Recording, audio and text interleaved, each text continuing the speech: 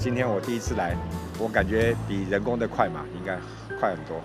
其实蛮多金门人都是来往厦门，所以其实都蛮方便的，就是直接过去就好了，就不用花那么多时间在人工。